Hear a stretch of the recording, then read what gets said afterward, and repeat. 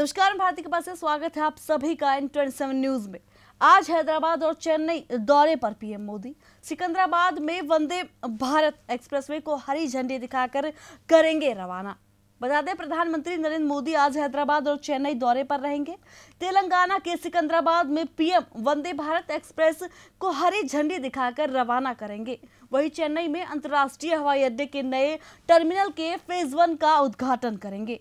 तेलंगाना में सिकंदराबाद तिरुपति वंदे भारत एक्सप्रेस को हरी झंडी दिखाने के अलावा तेलंगाना में 11,300 करोड़ रुपए से अधिक की परियोजनाओं का उद्घाटन और शिलान्यास भी करेंगे। आधिकारिक सूत्रों ने बताया कि हैदराबाद के दौरे के दौरान मोदी यहाँ परेड ग्राउंड में एक जनसभा में भी हिस्सा लेंगे। वह हैदराबाद के करीब अखिल भारतीय आयुर्विज्ञान संस्थान बीबी नगर और पाँच राष्ट्रीय राजमार्ग परियोजनाओं की आधारशिला रखेंगे। वह सिकंदराबाद रेलवे स्टेशन के पूर्ण विकास की आधारशिला भी रखेंगे और रेलवे से संबंधित अन्य विकास परियोजनाओं को राष्ट्र को समर्पित करेंगे।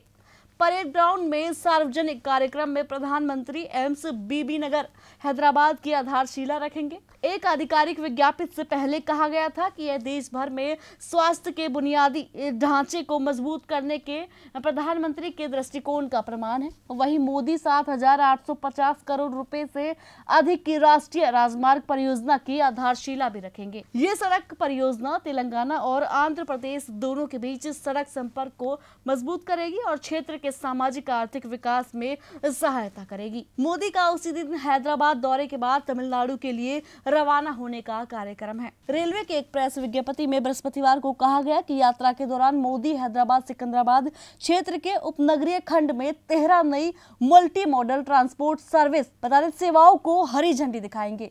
जो यात्रियों को तेज, सुविधाजनक और आरामदायक यात्रा विकल्प प्रदान करेगी। वह सिकंदराबाद महबूब नगर परियोजनाओं के दोहरीकरण और बता दें, विद्युतीकरण को भी राष्ट्रीय को समर्पित करेंगे। पिचासी किलोमीटर से अधिक की दूरी तक फैली यह परियोजना लगभग 1410 करोड़ रुपए की लागत से पूरी की गई है।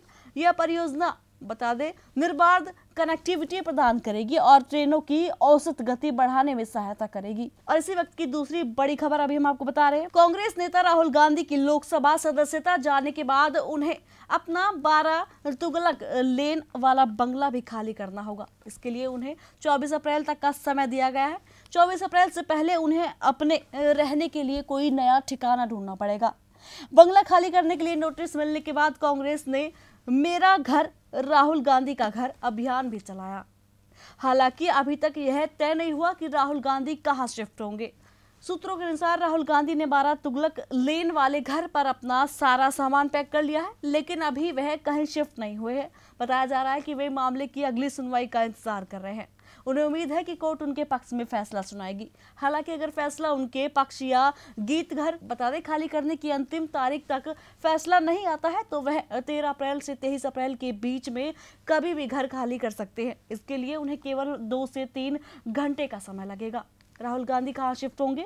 यह तो अभी तय नहीं हुआ है, लेकिन 10 जनपद, सोनिया गांधी के आवास समेत कैसी? वेणुगोपाल, प्रमोद तिवारी शक्ति सिंह के आवासों में से किसी एक बंगले में वह शिफ्ट हो सकते हैं। सूत्र 10 जनपद की संभावना ज़्यादा जता रहे। इसके पीछे कारण यह है कि वह बंगला काफ़ी बड़ा है और उनकी माँ का भी है। यहाँ से वह अपने कामों को बड़ी ही आसानी से संचालित कर सकते हैं। अभी के लिए इतना ही। देखते रहिए एन ट्वेंटी न्यूज़ आप देख रहे हैं एन ट्वेंटी न्यूज़ पकड़, हर खबर पर।